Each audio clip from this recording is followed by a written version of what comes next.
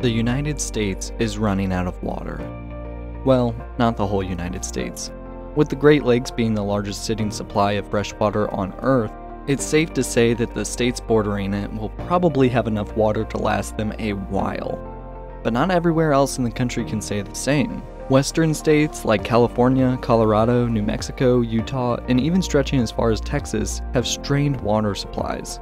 But let's zero in on California, because their problem is especially dire.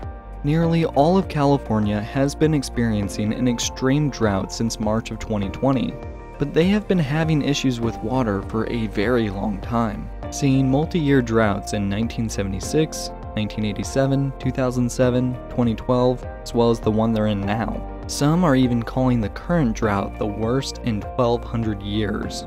In response, the state's government called on its citizens to voluntarily limit water usage. In Los Angeles, they are asking residents to limit outdoor watering to 8 minute periods twice per week, while also saying that that could turn into an all out ban on outdoor watering in September. Gavin Newsom, the governor of California, has called on Californians to reduce consumption by a minimum of 15%, but stating that they should realistically be shooting for 30%. While these calls for limiting water usage are, in theory, a good thing, after all, if everyone can work together, limiting unnecessary uses for water, reduction can be achieved with minimal sacrifice. But the data is worrying. From March of 2020 to March of 2022, urban water usage had actually increased by 19%. The urgency of the matter just isn't getting through to all Californians. But I think it would be cruel to point fingers just at the people who are trying to get enough water to live a comfortable life. The businesses and industries operating in California should be shouldering more of the blame because while the government has asked businesses to voluntarily make some changes, like not watering ornamental gardens and not serving water in restaurants unless specifically asked for, these ignore some of the biggest uses of water in the state, like agriculture growing crops that specifically require large amounts of water, things like almonds, alfalfa, and avocados. It's understandable that the government would want to make changes without hurting the economy of the state, but putting the blame and the responsibility solely on the residents seems a little unfair when you consider that the state has around 1,000 golf courses, 84 of which are in a 20 mile radius around Los Angeles, one of the hardest hit cities from the drought. It seems as though they can only cut water usage by so much, which is why this episode is going to be looking at the flip side of things. If there isn't enough water to pull from inland, or more accurately put, from the northern one third of the state, why don't we use the water right next to California's coast? That is to say, should California use desalination to supplement their water supply? Well, grab a glass of seawater and settle in as we learn something new. Explained at its most basic level, desalination is the process of removing salt from water. But in this episode, we will be referring to it as the process of making seawater into potable water, or water that you can drink. This is an important distinction to make as we understand that simply removing the salt from seawater isn't enough. It also must be treated to be safe for consumption, driving up the cost of production. But I'm getting ahead of myself. In my last video about nuclear powered vehicles, I talked about how desalination worked in nuclear submarines.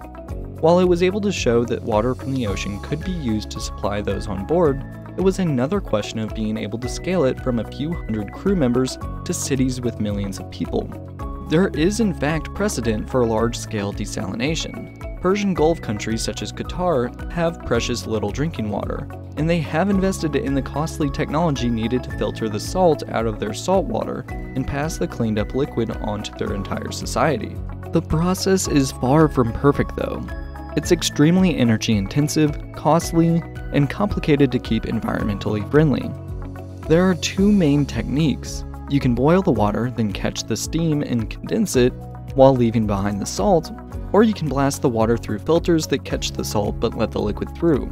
The modern day process resembles the latter, but both tend to use a lot of energy. A UN study from 2018 estimated that the world produces about 25 billion gallons of desalinated water every day enough to match the use of 25 New York cities. But there's more than salt in seawater. There's also often a lot of boron, which isn't good for crops and can even be unhealthy for humans in high enough concentrations. It can be removed, but it requires another level of treatment, which means more cost to make it safe. Even with this taken into consideration, the process of desalinating water has come down greatly in cost over the past few decades. Originally costing around $10 per cubic meter of water when it was being developed, it is now sitting between $1 and $2 per cubic meter depending on how it's produced. But there's more to the problem than just the monetary side. When you desalinate seawater, the salt has to go somewhere. Usually it comes out as a byproduct known as brine a hyper-concentrated salty fluid. Many places that use desalination just pump it right back into the ocean, but that can be a problem. If it is pumped back out to sea, it tends to sink right to the bottom of the ocean floor, suffocating the marine life around it. Marine biologists refer to this sometimes as the blanket of death, because it settles on the floor and kills everything. Even saltwater marine life have their limits in terms of how much salt their bodies can actually process. Right now, the best we can do with a brine is spread it out over a further distance to mitigate most of the damage. One final major issue with desalination is energy consumption, which is a bit of a problem for California since around 14% of the state's power comes from water using hydroelectric dams. On California's Energy Commission website, where I pulled this data, they stated that the hydroelectric generation is around 44% lower than 2019's levels because of the dry conditions in the state. And that was just talking about 2020. We're in 2022 now, and they are still persistently dealing with these drier seasons and lower water levels. California is taking steps to combat this, raising renewable energy generation in its state to about half and pledging to get renewable energy up to 60% in the future. But even renewable energy can be expensive to put into place and maintain. It seems to be a common theme with using technologies that are newer, where they are expensive and haven't reached an efficiency to match other means. But California's options are becoming fewer and fewer. One way or the other, they will soon have to make some tough decisions. Continue putting limits on how much water people are allowed to use, asking farmers not to plant or water parts of their fields, or taking a chance on newer technologies.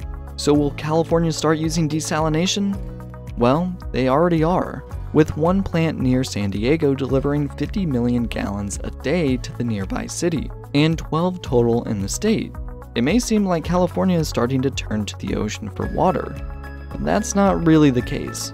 Just last month, officials voted unanimously against a $1.4 billion proposal to open a desalination plant in Huntington Beach, California on the grounds that the risk to marine life and the higher costs that would be passed on to the consumers would be a deal breaker, with one saying, We are not against desal, we are for the coast, and we are for environmental justice, and we are for coastal resilience in the face of sea level rise. If not desalination, then what? Well, the prevailing argument for now is that recycling water instead of just treating it and sending it out to sea can save more water for a cheaper cost, while still being beneficial to the environment. But that's a topic for another video. As the technology currently stands, it is more of a last ditch effort when no other options remain than a go to source for water. Thank you for watching Learn Something New. If you like this episode, be sure to like and subscribe for more. And as always, see you in the next one.